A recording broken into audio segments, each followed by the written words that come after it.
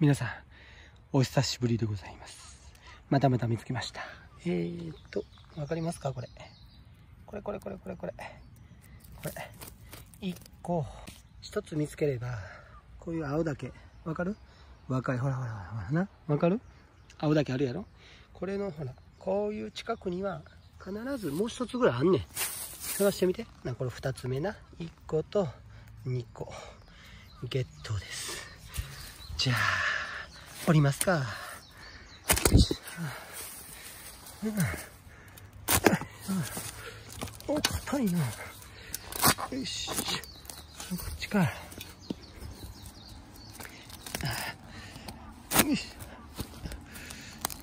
あよし。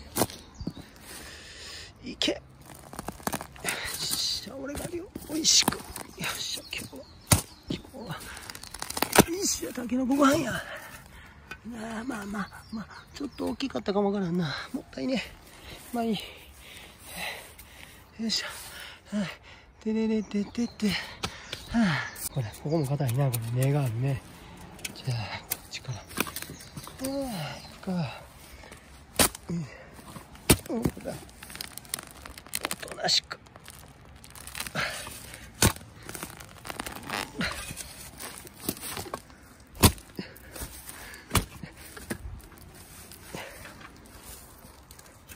そう。あおとなしく。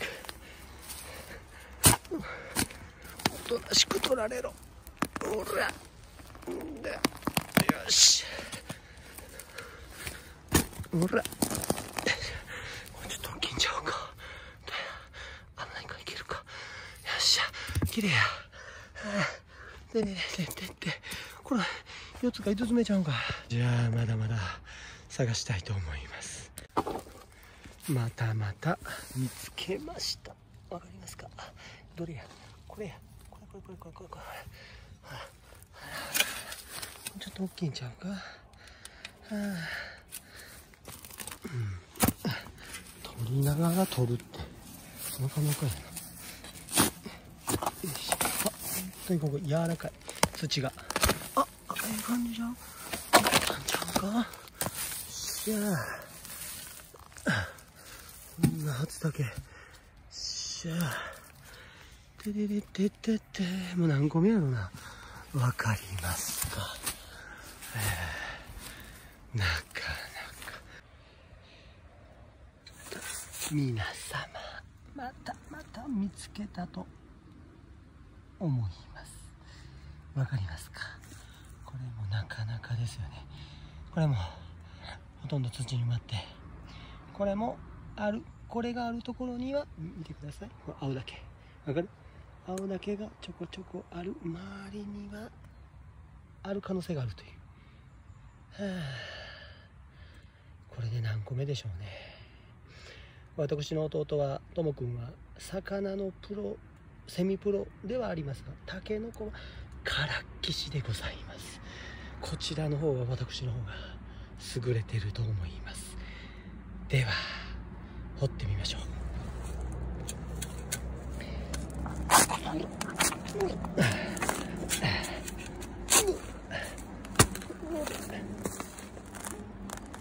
んな下の方にこれ結構いけるか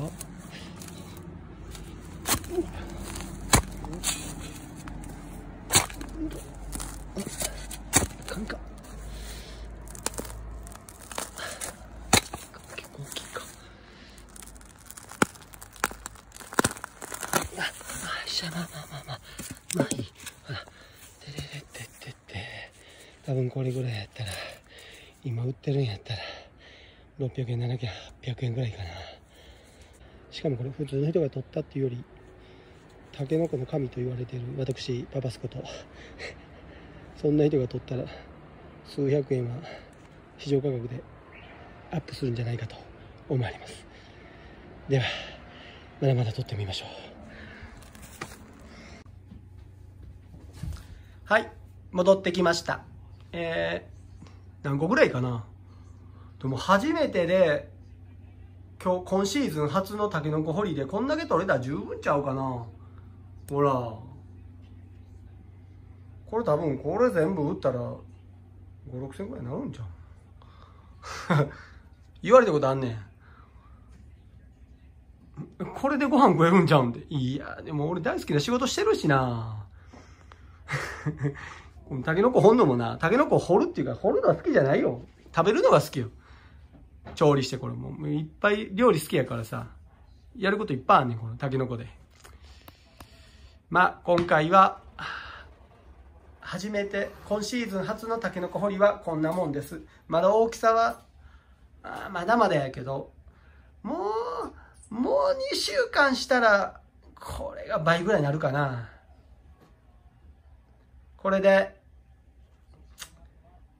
初めて、この、この時期っていうのは本当に難しくて、この時期に誰が行っても取れるっていうことは、まあ、まずない。本当に慣れてる人しかこの時期は絶対取られへんと思う。なんでかって、タケノコだって土の中やもん。足でガサガサとか、どこでもしてもガサガサしてもないねんって。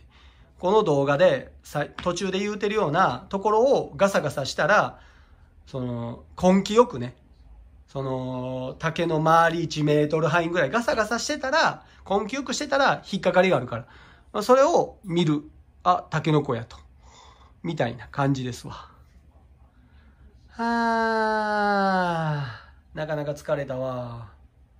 これで、今回のタケノコ掘り、締めたいと思います。えー、最近、漁港に行って、チャンネル登録数がちょっとずつ増えてきてありがとうございます。一貫性のないチャンネルですがまあ多めに見てください。いろいろ撮りたいと思います。近々漁港もまた行きたいと思います。そしてまたタケノコ掘りも行きたいと思います。興味があったらタケノコ掘りの動画もうほとんど私がで行って撮ってると思うんでご視聴ください。どうかどうかコメントもよろしくお願いいたします。でございます。終わりたいと思います。それではまた、またね